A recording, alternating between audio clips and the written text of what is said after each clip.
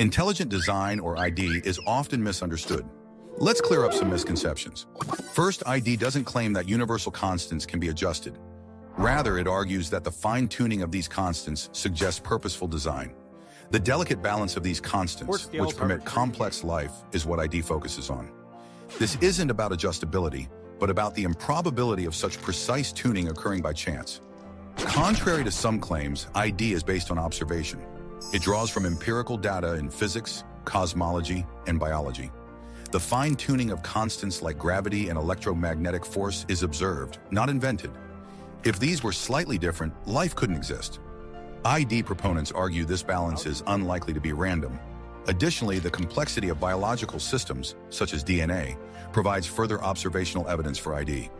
The specified complexity in genetic information suggests an intelligent source, as the probability of such intricate systems arising through unguided processes is astronomically low. In conclusion, intelligent design is grounded in observable phenomena, arguing that the universe's fine-tuning and biological complexity point towards purposeful design rather than random chance.